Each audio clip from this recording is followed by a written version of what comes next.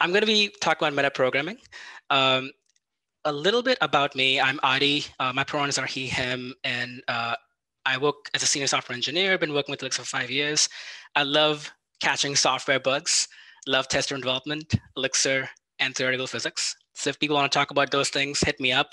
My GitHub and Twitter handles are up there. Also, by the way, this is my cat, Leslie. He's, he's really cute. Um, so today we'll be talking about what metaprogramming is and when to use it. And then we'll talk about metaprogramming in Elixir and how Elixir does it a little differently than many languages. Um, and then, you know, we'll do some live coding. This is like my first conference talk, and I was thinking, what's the most deterministic, sure shot thing I could do, right? I was like, live coding always goes as planned, right? So we're gonna do some live coding. And hopefully we'll have some time towards the end for some questions. Um, all right, so metaprogramming is like best described as like code that writes code. Um, what that really means is like a program that has the ability to generate code, analyze other code, store information of re related to another code, or inject behavior into another code. Uh, so essentially code that treats other code as data or argument is like called a meta program. And the language in which we write the meta program is called the meta language. Many modern languages are their own meta language, uh, like Elixir, and that's called reflectivity. Uh, so that really allows us to really ex extend the features of Elixir in Elixir itself. And here's an example, right? Phoenix Strata pipeline. Um, so let's look at that a little bit uh, more in depth. Um, so this pipeline is allowing us to define a route. Uh, this is like a Phoenix Strata pipeline, right? So it allows us to define a get route, which accepts JSON and is delegated to a controller, right? It's nine lines of code is pretty cool, right? So that's one of the pros of metaprogramming. It, it hides complexity of an implementation therefore makes it easier for us to digest the code, furthermore, increasing our productivity, right? And it also automates like a lot of tedious boilerplate code. And the best part about that is that you don't have to worry about standardization, right? Because people are not doing that code differently. Um, so those are some pros of metaprogramming. But on the other side, since it's hiding complexity of, of, implementation, it is also decreasing transparency. So it's harder for you to kind of break the uh, convention here, right? If you do something that's that's not supported by this interface, it's a lot harder to change the code that's under the hood. Um, and metaprogramming increases overall complexity of the code. So the code is harder to test, debug, and maintain, right? Um, so uh, let's yeah now that we know pros and cons let's see when we should use metaprogramming. Uh, the best answer is like when you've exhausted all the other options. But a few other points that i came up with are like say, when you've minimized the meta code and that's an extension of you know separating your interface from implementation right? So like your, your interface the meta code should be completely not completely but like somewhat independent of the implementation so they can test those independently maintain those independently and speaking of testing you should make sure that you've thoroughly tested your meta program, right? And because it's more complex, right? So it's like less deterministic. So you have to rely more on, tests to make sure it behaves the way you expect it to. And uh, also, you should make sure your code is inspectable. And this is something a lot of meta programs don't have, I feel, um, like uh, extra introspective features that allow us to hook into, you know, the DSL and see how things are, right? It should be more debuggable. So if you just put a little bit extra thought into making your meta program more debuggable, it'll be easier to maintain and adopt. And two other things, it's good to use metaprogramming when the requirements are less volatile, uh, when you're very sure about the interface. It, it, takes like less heavy maintenance. And obviously, since no code is perfect, uh, you should expect failure. And when the cost of failure is manageable, you should use metaprogramming but it's metaprogramming is not evil, right? We just need to make sure you put thought behind it and look and consider the future of your code before using it. All right, so now that's out, of the way. Let's talk about metaprogramming in Elixir. And uh, in Elixir, unlike some of the other languages, uh, metaprogramming is a little bit more restrictive, which is what I like about it. Uh, there's less ways people can mess up. Um, and that's because metaprogramming essentially revolves around three pillars in Elixir. And the first one is the Elixir representation of the AST. Abstract syntax tree, for those who don't know, is uh, like a, um, a tree representation of your tokens And um, uh, after and that, and that happens after like syntactical and lexical analysis of the code, right? And Elixir has an Elixir representation of AST, and those are called quoted expressions or quoted literals. Um, second pillar are macros that allow us to inject behavior. And third pillar of metaprogramming are compile time callbacks, uh, which hook into the compilation of a module and further allow us to change the behavior of, of a module. So quoted expressions, like I said, are Elixir representation of the AST. Um, to get the Elixir representation of the AST, we can use a quote keyword. Um, so for example, if we do quote one plus two, um, we get a three element tuple. Doesn't really look like a tree, right? But the first element, the function, which is plus, can be thought of as the root of the tree. And the arguments one and two, which are the third element, are the leaf or like the nodes of that root. Um, the second element of this tuple is just metadata, just to give us more information of where the function is being called and what modules have been imported. Here's like a bigger AST, I guess. There's three operations happening here, multiplication, plus, and minus. And multiplication is a root operation, and plus and minus are like the child operations.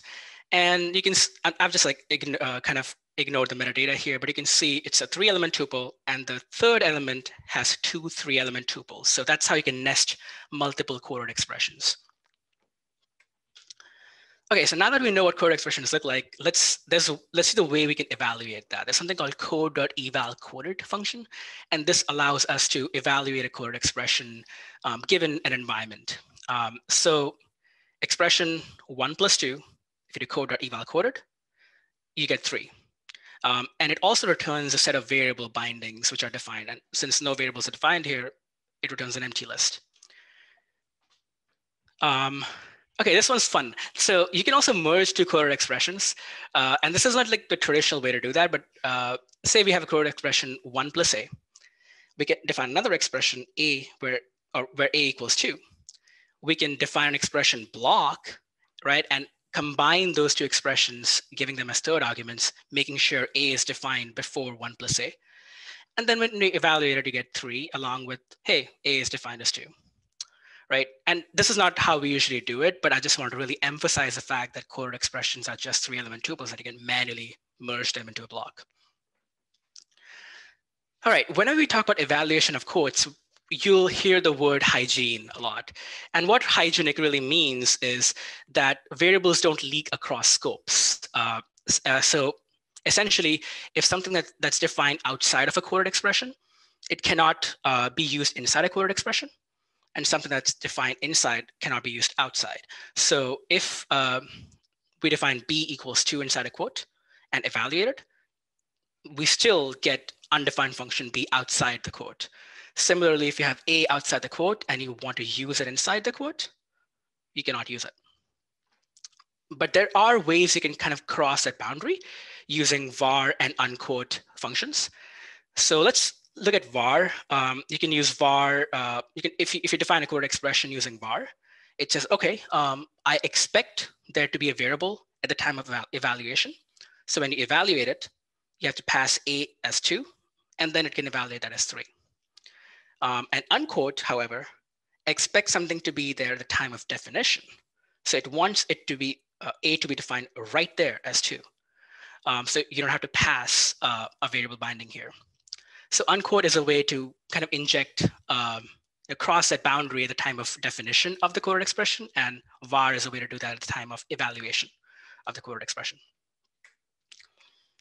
All right, so we have all the ingredients needed to do code injection right now. We don't need macros um, we can literally define a function that returns a quoted expression, hello world, and call, call, call code.eval quoted, and that just defines that function, right?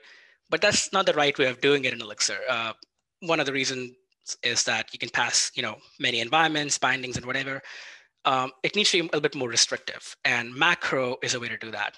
Um, you can define a macro, which defines a quoted expression, you can require the module and call that macro, and that has the same impact.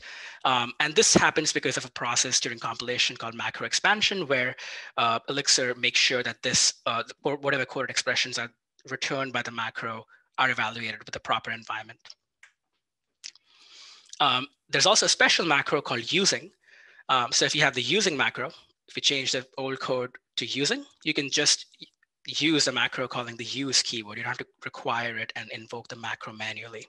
And this is like the uh, proper way, I guess the default way to inject behavior. You should use using macro as a, as a default.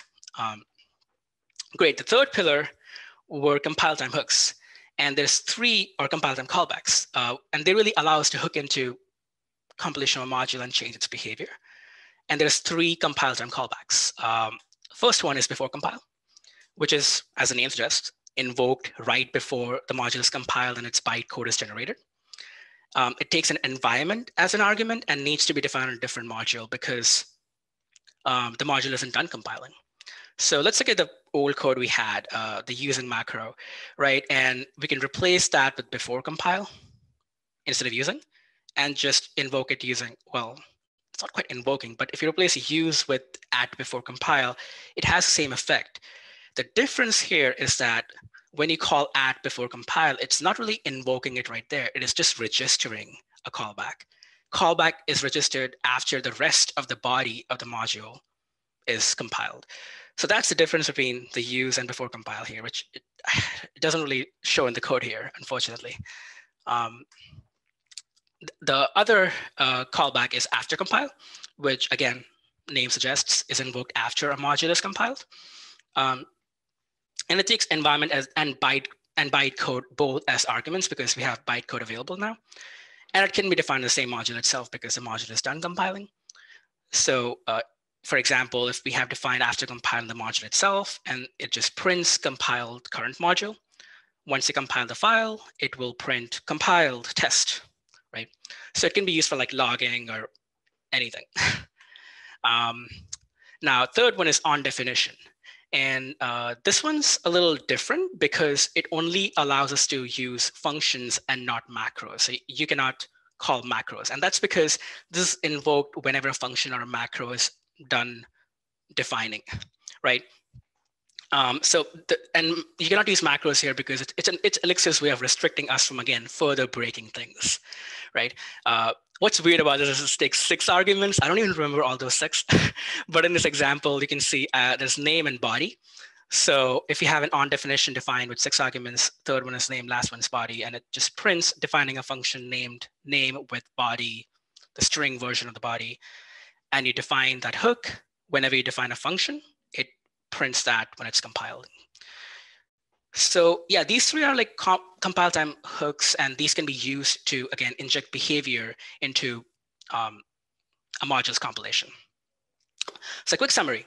In Elixir, metaprogramming revolves around three constructs, quoted literals, macros, and compile time callbacks. Quoted literals are Elixir's representation of the abstract syntax tree, which by default are evaluated hygienically. And to add more dynamic behavior to them, we could use var, which adds it at evaluation time, and unquote, which adds it at the time of definition. Macros are used to inject behavior by default. It's a right way to use uh, inject behavior at compile time. And uh, compile time callbacks uh, are used to run tasks by hooking into the compilation a module. And that task could be invoking a macro uh, or adding a, a, a behavior through macro. Um, Metaprogramming should be used carefully, like we talked earlier, as it makes your code more complex. Your code is of higher order because you know it treats other code as arguments. Um, and a great use case of metaprogramming is DSL because um, a DSL, when you say you're being explicit about the fact that you're just creating an interface for a deeper implementation, and all you're doing is trying to make the code more digestible, like the Phoenix router DSL. So speaking of DSL, let's build a DSL today.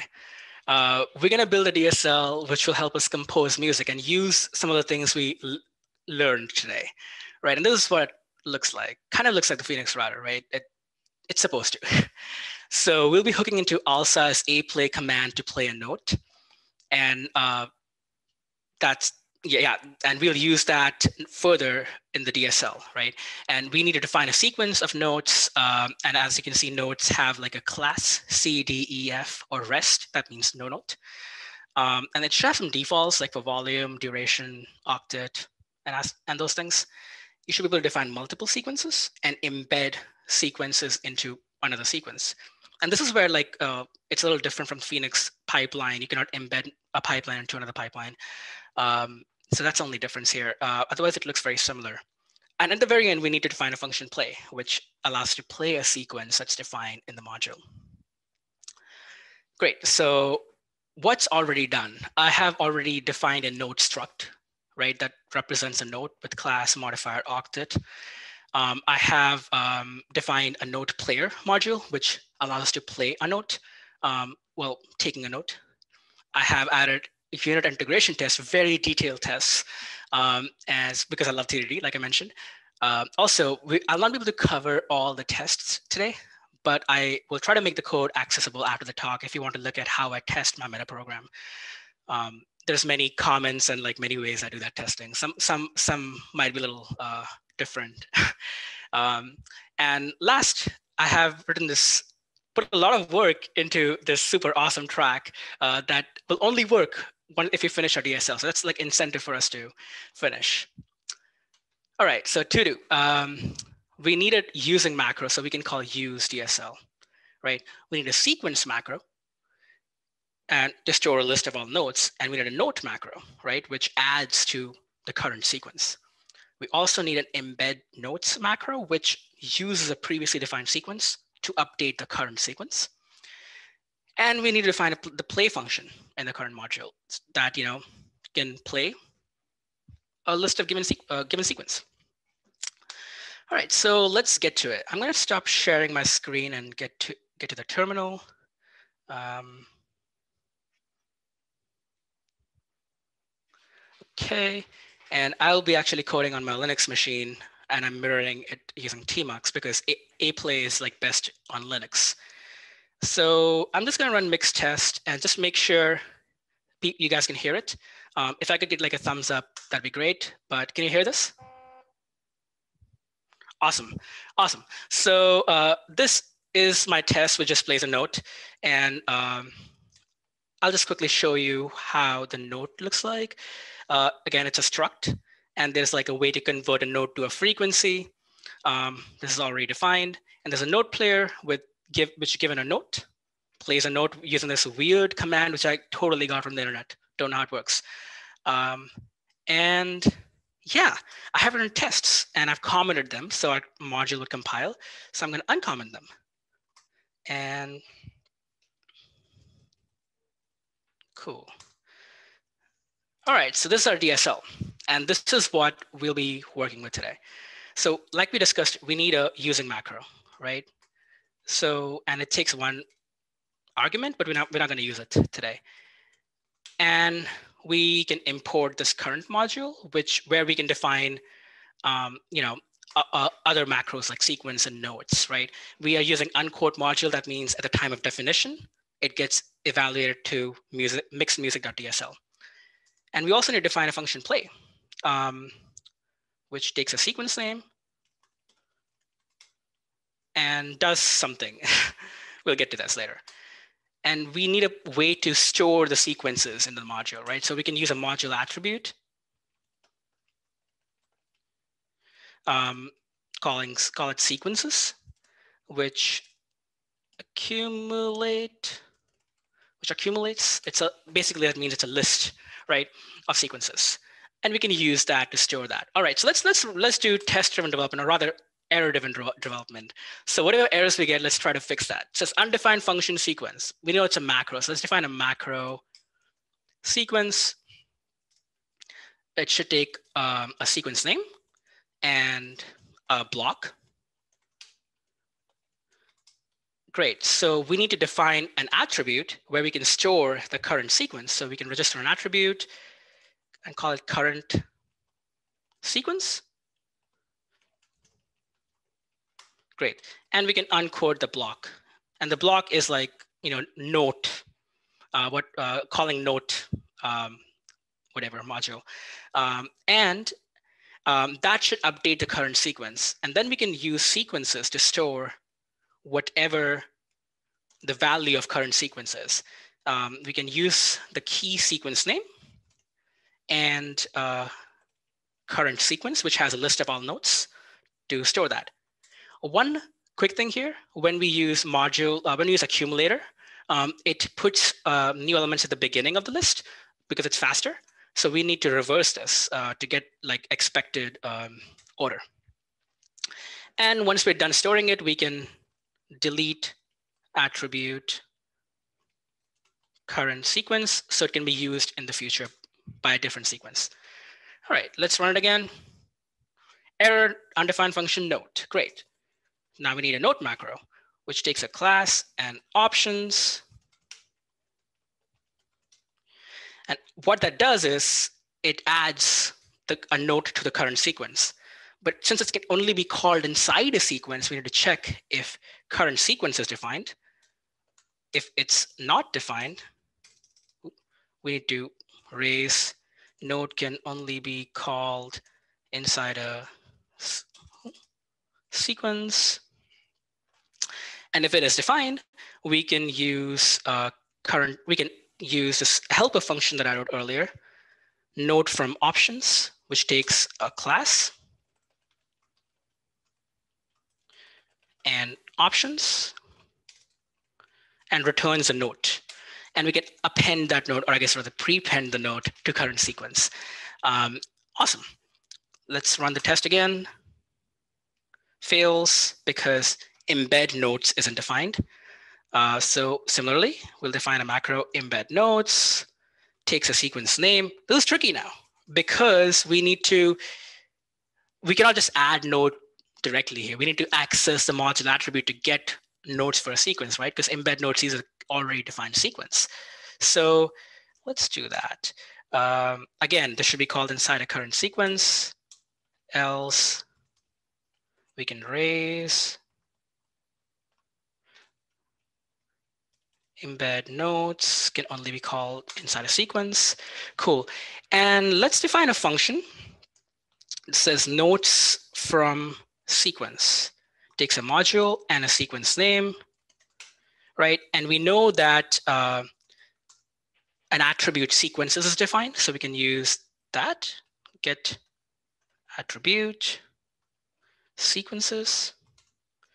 We can do keyword dot get sequence name. Great, so this returns a list of notes that correspond to a sequence. So we can do notes equals note from sequence. We're gonna pass current module and sequence name.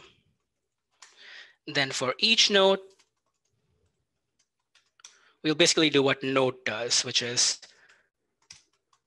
add to the current sequence.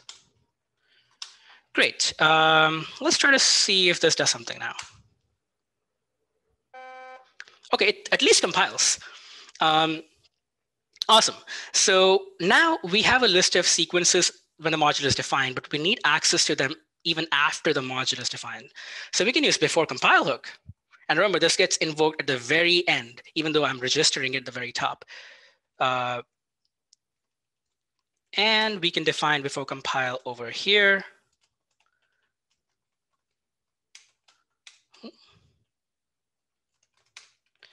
Which defines a function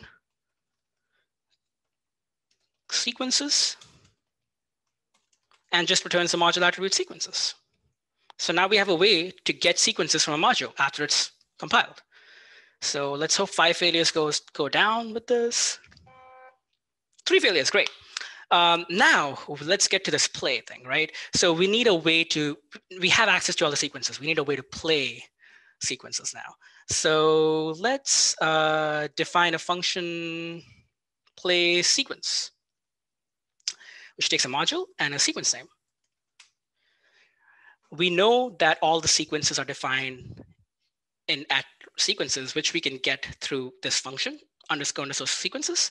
So we can call module dot sequences and try to do keyword get with sequence name, right? And this could be nil too if the sequence isn't defined. So I'm going to do a case over here. If it's nil, we can raise um, sequence, sequence name, not defined. Um, oh, typo right there. Um, else, if it's notes, we can do um, enum.each, notes, and we can use a note player that I've defined here, which takes a note to play a note. We can use that. Um,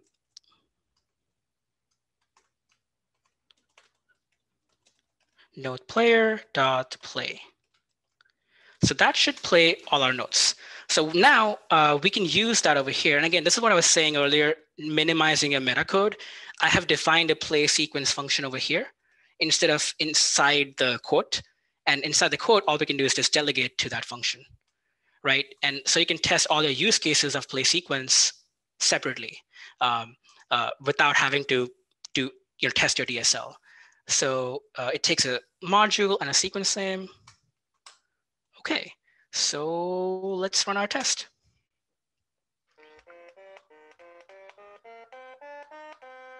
Awesome, great.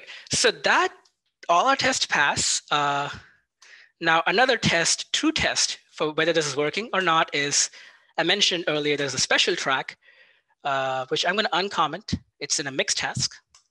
Um, let's do mix final music. Let's see if you guys can tell what this is.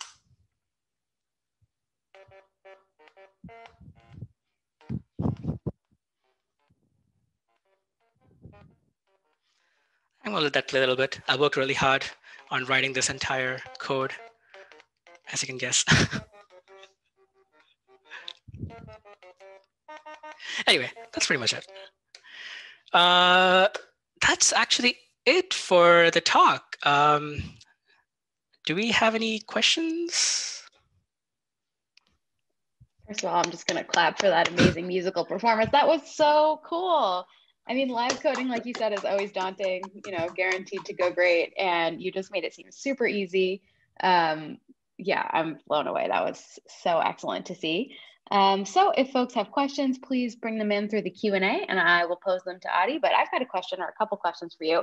But I'll start with, um, I feel like I'm probably not alone in saying I've maybe had some bad experiences with metaprogramming, you know, in general and in Elixir because it can get messy and it can get complex. So I'm curious if you have any thoughts on that, your own maybe horror stories to share or some tips and tricks for avoiding getting, you know, mired in overly complex metaprogrammed code? Yeah, I I have um, well, I, yeah, start doing Elixir like as my first job. You know, I, my my first job was in Elixir too. I have made a lot of bad decisions with metaprogramming. Um, written a lot of code which is hard to maintain. Um, again, it like comes down to uh, you know, there's like really three things. Like like you said, it gets really messy, so it's hard to read, right? So I think the separation of interface from implementation, just being as explicit about it as you can. Um, and I mean, if you can't separate interface from implementation, like sometimes it's also okay to test what your uh, macros uh, evaluate to individually. Uh, I know it, uh, people say that it's better to test the final behavior of a metaprogram than the actual uh, code itself, but it's sometimes it's not feasible, right? Uh, so that's one. And uh, like I mentioned earlier, just making the code more inspectable. Um, like here, adding the underscore underscore sequences function.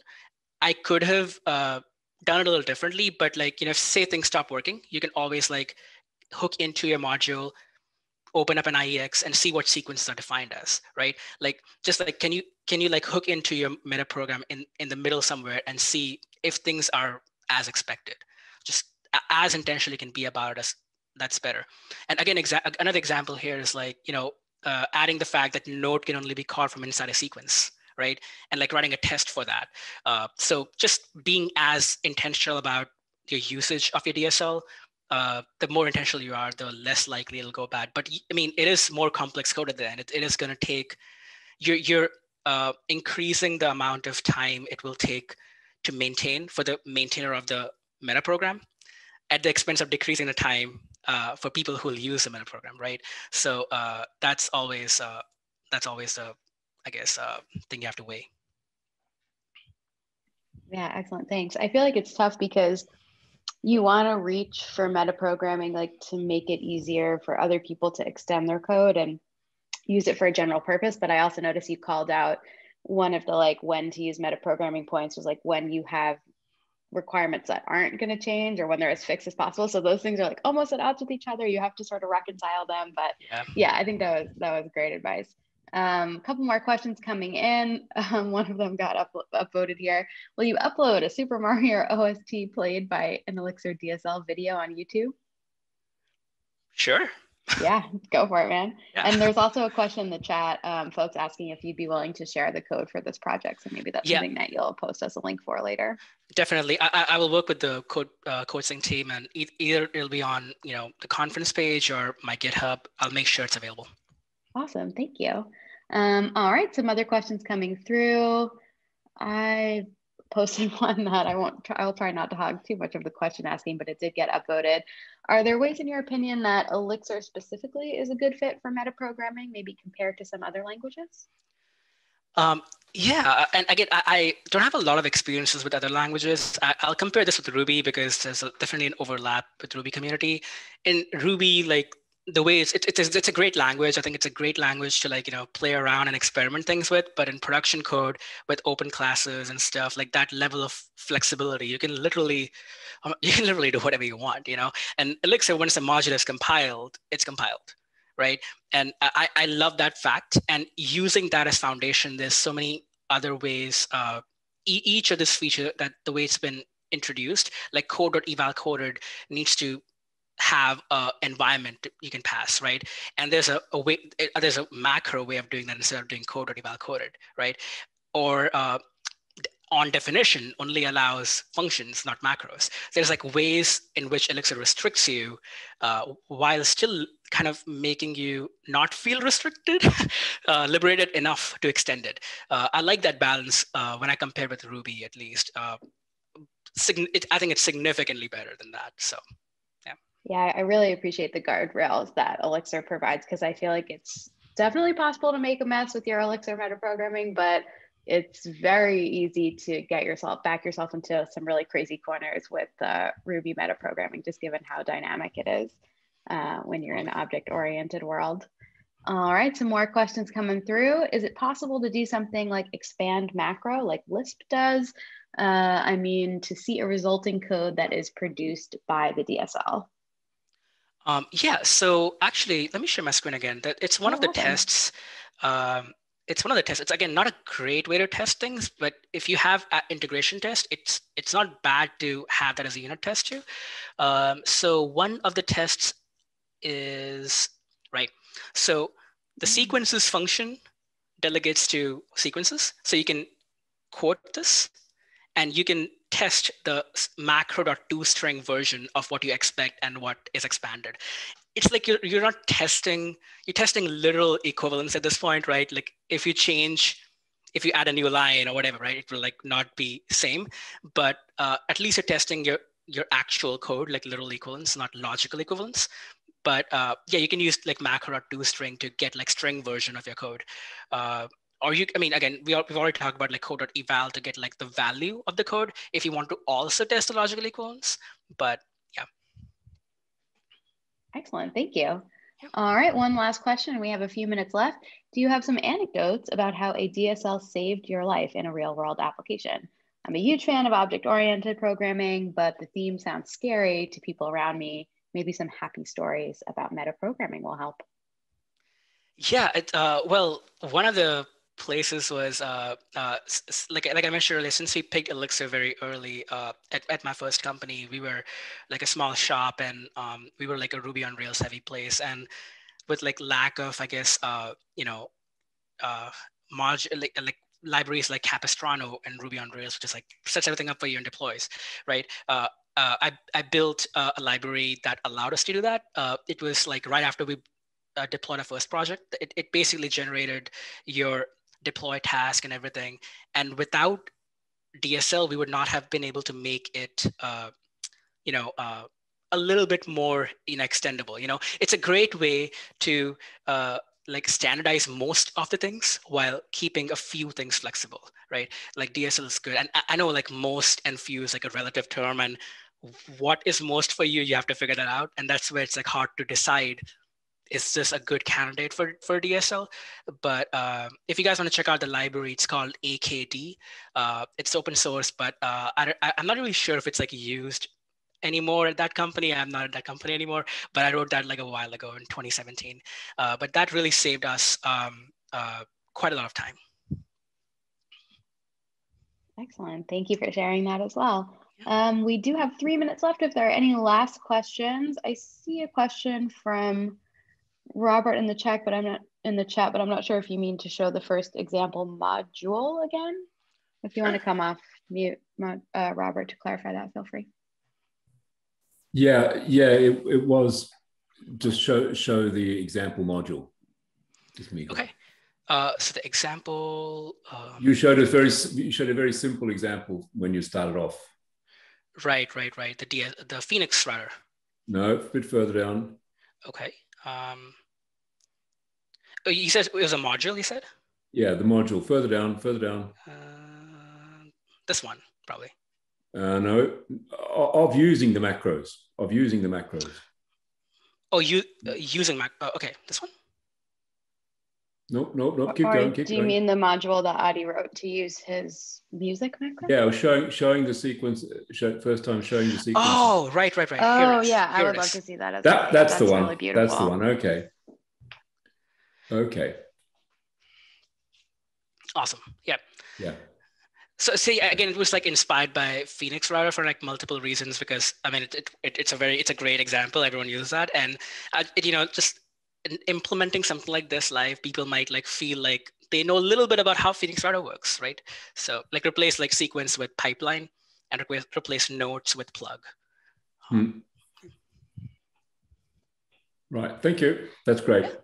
Awesome. Yeah, that just reads so beautifully, Adi. I think it's a really nice example of just the power of metaprogramming to create a super eloquent DSL. Mm. Awesome. Thanks.